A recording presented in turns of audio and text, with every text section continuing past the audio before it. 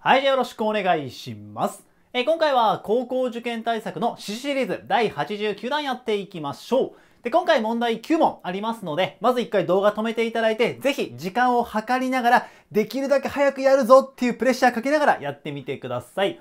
で、やってもらった後に分かんなかったり、不安な問題があれば、今からね、自分が全部解いていきますんで、確認してもらえたらと思います。いいかな？では、早速ね、まず1番からやっていきますので、どうぞよろしくお願いします。それじゃあ画面下げます。お待ちください。よっ。ほっ。もうちょい。ちょっと行き過ぎかな。いいかな。よし。じゃあ行きましょう。ちょっと微調整ごめんなさい。失礼します。では、参りましょう。前回がね、6問とちょっと少なめだったんですが、今回はね、通常通りだいたい9問ぐらいが揃っていきますと。で、まずはね、簡単な計算から参りましょう。で、この辺見たときに、まあ、もし師匠をね、いっぱいやってる方だったら、あ、またそれみたいなのとか、あ、そこ引っ掛けようとしてるんですよねっていうのが気づけるようになったら、もうね、だいぶ大丈夫。試験本番でも入試本番でもね。やっぱそこまでやってきたっていう、その経験値から来るものなので、自信持ってください。で、これもそうなんだよね。マイナスマイナス。やっぱそうしますよね、みたいな。だからここをプラスに変えて、後ろの符号も一緒に変えますと。もちろん後ろがプラスだったらマイナスになるみたいなこともできますけど、まあこのマイナスマイナスが王道だよね。よく出てきます。つまりこれはマイナス3プラス7と一緒だから答えは4となります。ちょっと赤ペンごめんなさい。前回の動画でペン先が黒くなっちゃったね。失礼しました。で、次が、はいはい、指数ですねと。で、やっぱり、えー、カッコの外に2乗を持ってくるんですねって思ってくれるとなおさら嬉しい。これの意味は、えー、カッコ丸ごと2個分という意味です。カッコをマイナス3丸ごと2個かけたものですよって。つまり、マイナス3かけるマイナス3なんで、これ9ですよね。9。つまり、ここは9なんです。上から書いちゃうよ。9。ってわかるから、8マイナス9なんです。?8 マイナス9。つまり、マイナス1となります。で、3番。まあ、このタイプね、えーよくで、よく出てきますけど、もちろん1個ずつ、これやった後にこの答えと割り算しても全然構わないんですが、私はね、あの、一気にやるのが好きなので、一気にやっていきます。で、一気にやっていくときのポイント、まず全部確認して、マイナスの数を数えます。今、マイナスは2つあるので、全部の計算をしたときに答えはプラスになります。そこを確認する。もしうっかりミスが多い方はわざとプラスを書いておいてもいいです。自分でちゃんと符号の確認はしましたよのマークになるからね。で、一番最初、もう符号の確認はしたからこいつらも無視ね。符号は無視でいいです。え 9ab2 乗、これは上に乗ります。で、掛け算の後ろの子も上に乗ります。で、割り算の後ろの子が下に来るとね。こうなる。で、あとは一気に約分していきましょう。えっ、と、A が消えて A が消える。B が1個、B が1個消えるから、まあ、2乗消しておきましょう。1個残るからね。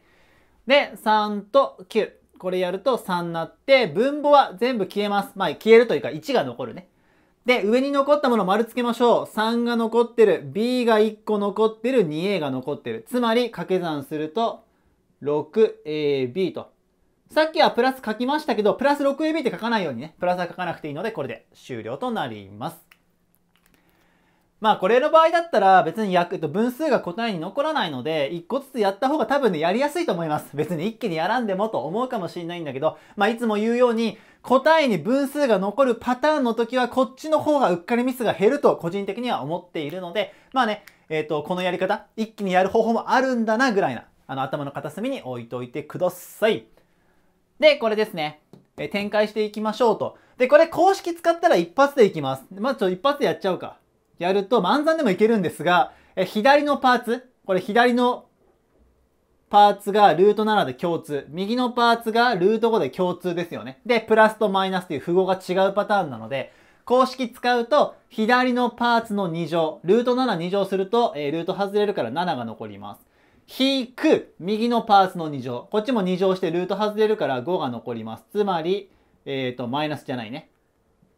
2。これで終了。ちょっと汚くなっちゃったな。ごめんな。一回消すか。しょ。これで終了です。で、何を使ったかっていうと、えー展開の公式、多分大体教科書の4つ目かなあ、でも教科書によっては1番目に書いてるかもしれないけど、この公式ね、えー、左のパーツが X で同じ、右のパーツが Y で同じ、中身がプラスとマイナスで違いますねのやつ。これの公式は、左のパーツの2乗、マイナス、右のパーツの2乗です。展開するとね。だから、これができると。で、もし、この展開の問題が入試本番でパッて思いつかなかった時、やばい、公式出てこないって思うかもしんないけど、焦らなくていいです。展開絶対解けるから。なぜかっていうと、全部掛けっていう無敵の技があるから。全部かけちゃえばいいんです。つまり、ルート7とルート7かけます。ルート7とルート、あ、マイナスルート5かけます。その後に、ルート5とルート7かけて、ルート5とマイナスルート5。4回。全部掛け、あ、全部掛けって言葉外で使っちゃダメだよ。俺が勝手に言ってるだけだからね。それやると、まとめれば2になるから、ちゃんと。もちろん計算ミスは発生するかもしんないけど、こうやってやってもいいです。いいかい？展開は全部掛けすれば絶対解けるから。全部掛けしてまとめるんだよ。い計算できるものはまとめた後だけど、これに戻るから、それぜひやってみてください。ちなみに、あの、ケアレスミスを減らす方法で自分よくね、試験本番で2週3週ってやるんですよ。例えば、1回さ、テストが終わって、まあもちろんできなかった問題もあるけど、終わって戻ってくるじゃん。その時、1回目に公式を使ったんだったら、俺2回目はわざと全部書きするからね。2回目も同じルートは通らないから。違うルートが2個とか3個思いつくんだったら別のルートでやって確認した方が正答率上がります。だって同じのやったら同じのを書くだけだもん。覚えてるから自分で。まあそういうのもありね。じゃあ5番行きましょう。今回は因数、いやごめん、因数分解ね。お、ごめん。前回の動画の時の問題はこうやってイコール0がついてるのは二次方程式っていうタイプだけど、イコールがついてない。これを因数分解しなさいだから、まあ考え方はね、こことここの数字チェックして、かけてマイナス18足してマイナス3のコンビを探します。で、18になる掛け算って、まあ、ちょっと符号をかかかと考えてないけど、1と18、まあ、あとあれか、順番間違えちゃった。3と6、2と9。入ってない。入ってなかったわ。あ口でごめんね。1と18か、2区18か、サブ6、18。まあ、そのコンビなわけよ。で、それにどっちかマイナスをくっつけて、足してマイナス3のコンビにしたいから、結果的に、XX 書いとくね。数字としては、マイナス6とプラス3です。このコンビは、かけてマイナス18になるし、足してマイナス3になるよね。はい、見つかりましたと。だから、それを書けばいい。マイナスとプラス3。あ、これ、順番どっちでもいいからね。ちょっと今、これこの順番で書いちゃったけど。いいかな？こんな感じでやってください。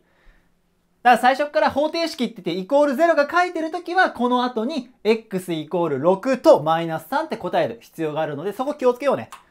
マジ入試本番でそれで見せたらめちゃめちゃもったいないからさ。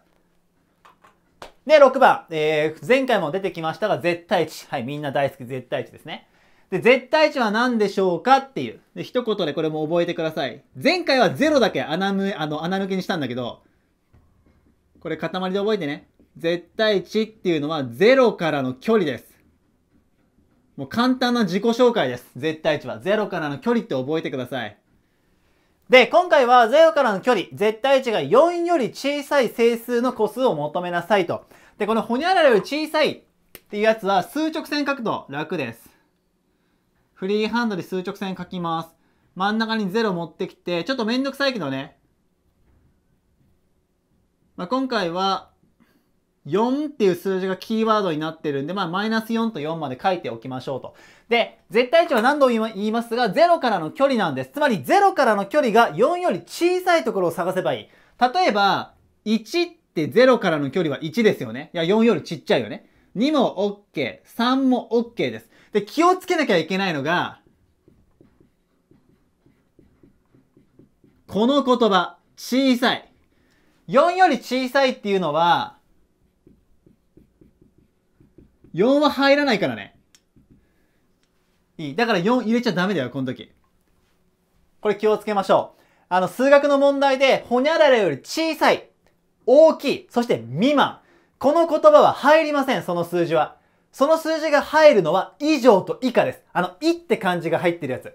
あれが入ったら、えこの数字も含みます。だから今回の問題がもし、絶対値が4以下、4以下と言われてたらこれは入ります。4が入るからね。でも今回は小さいなので4は入らないから、これ気をつけてください。で、ちなみに反対側、マイナス1。ここ、0からの距離は1ですよね。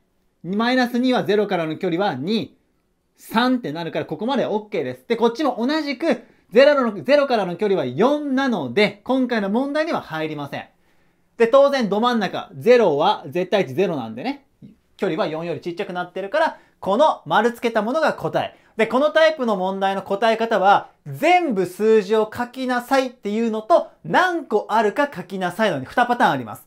で、今回は何個ありますか？まあ、整数、個数を求めなさい。だから何個って書けって言われてるから、丸つけたの7個だよね。つまり答えは7個と。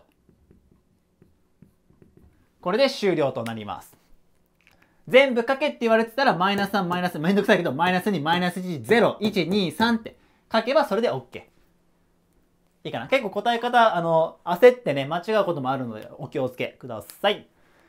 では7番いきましょう。関数でございます。ちょっとね、フリーハンドになっちゃってますけど、関数3つ書きましたと。で、こいつらがですね、y イコールマイナス 2x2 乗。y イコール x2 乗と2分の 1x2 乗。で、どれですかって。で、この中で、y イコール x2 乗探せって言ってるんですけど、あ、u を書き忘れました。すいません。これ u ね。で、こいつが、あ、で、こいつがいいです、今。で、まずね、まずこの問題で一発で絶対当てなきゃいけないのは y イコールマイナス 2x2 乗です。マイナス2。なんでかって言ったら、マイナス下だからさ。だから絶対にこいつだよね。マイナス 2x2 乗はうだよ。下1本しかないわけだから。だからこれはミスんないでほしい。いい？で、あとは y イコール x2 乗と y イコール2分の 1x2 乗です。で、ここのは、この数字を見るしかないよね。ちょっと、わーっと1書くけど、1と2分の1、x2 乗にくっついてる数字ですね。数字。ここの部分で、その、どのぐらいのカーブをしますかっていうのがわかります。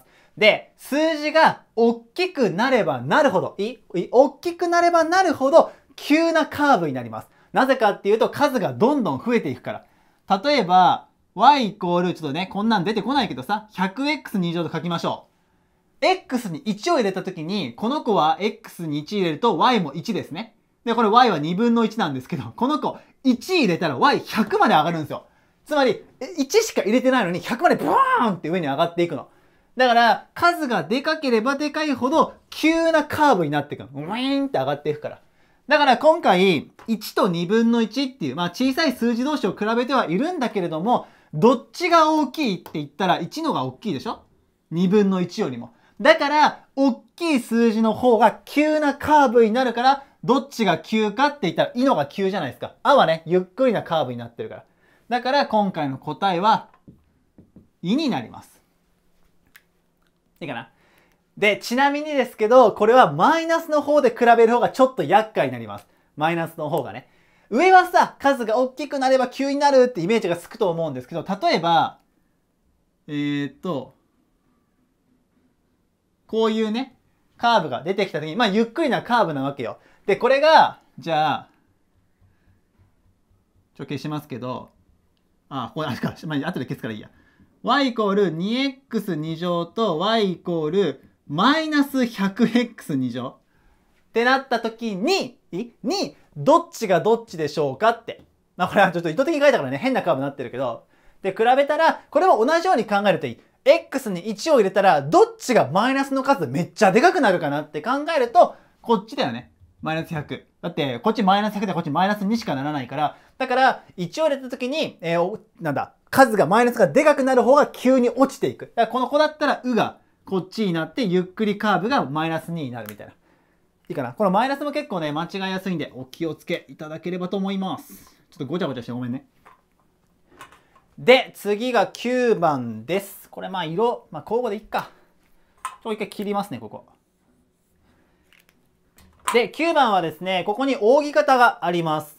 扇形。まあ、扇形なんだけど、こう90度なっているので、円、円、まあ、ピザとかさ、ケーキを思い出して、円の4分の1ですね。右上半分が残ってる状態です。で、これを回転させます。直線 OA なんで、ここですね。ここをくるっと回転させる。その時にできた立体を、あの体積を求めなさいと。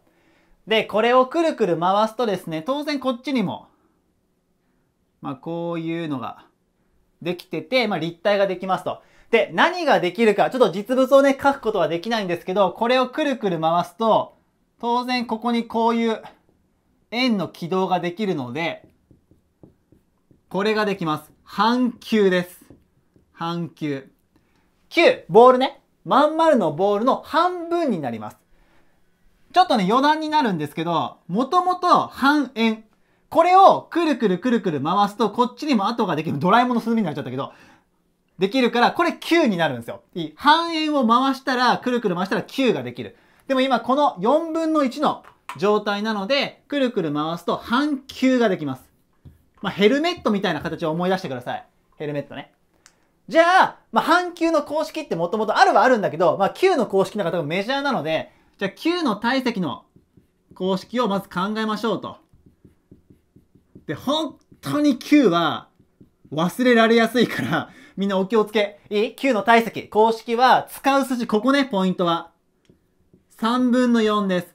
3分の 4πr3 乗って言います。r は半径ね。だから、えー、これを使っていくと、あ、いいか。で、これ、まあ、これ公式で丸つけとこう。こうしとこうか。だこれを使っていくと、3分の 4π でしょ？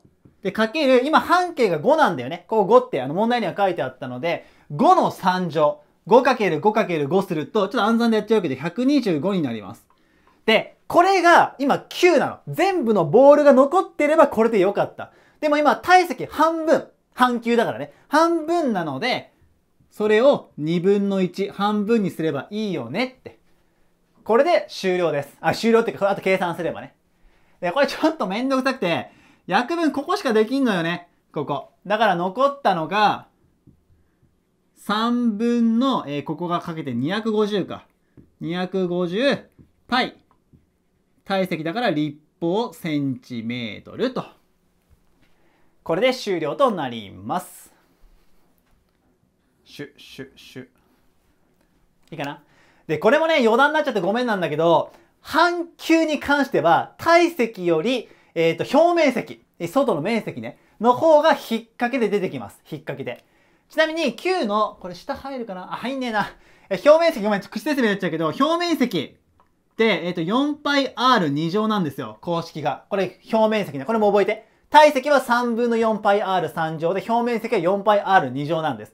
で、半球も、結局、外のね、表面積、見えてるところが半分になってるから、これを2分の1で割ればいいんですよ。でもこれだとね、ちょっと書けるかなちょっとヘルメットみたいな半球書きますわ。こういう状態ね。半球。あるじゃん。この求めた部分って、外のここだけなのよ。ヘルメットの上の部分だけ。表面積って見えてるとこの面積全部を言わなきゃいけないから、ここのね、まあ、切り口っていうかさ、下って円になってるの。スパンって切ってるから。ここの面積足さなきゃいけないのよ、表面積って。だから、半球の表面積求めるときって、この公式というかこれ使って、外のこのカーブ、ふにゃーんってこうね、球面というかここなってる。の部分を求めた後に、下の面積のを足して、で終了になります。これもすんごい引っ掛けよく出てくるから、ちょ今回はね、幅ないんでできないんだけど、ぜひ9、あ、9じゃない、半球の、えー、表面積出てきた時にはそういうね、注意があるんだと覚えておいてください。で、ラスト、2つのサイコロですね。え同時に投げて、出る目の数の和が5以下です。5以下。これ、いの漢字が入ってる。さっきのね、いの漢字が入ってるから5が入ります。つまり、1、2、3、4、5になればいいんです、今回。まあ、和は1ないけどね。で、まず覚えるのは、サイコロの問題の確率。2つのサイコロっていうのは、分母は36です。もうこれ絶対覚えてね。分母。つまり36分のホニャララです。で、確率っていうのは、樹形図を書くって言うんですよ。で、書くん、確かに書く。ただ、サイコロの樹形図は全部書くと時間取られちゃうんで、全部書かないでください。分母分かってるから36って。じゃあ何書くかっていうと、当てはまるやつだけ書けばいい。つまり、俺よくやるのが、片方固定しますよね。で、固定するとき俺丸つけるんですけど、片方が1と決めました。じゃあ、和が5以下になるのでどういう時って？枝を生やすの。1の1 OK、1の2 OK、足したらね。1の3も足して OK、1の4も OK だよね。でも1の5になっちゃうと足して6になるからダメじゃんか。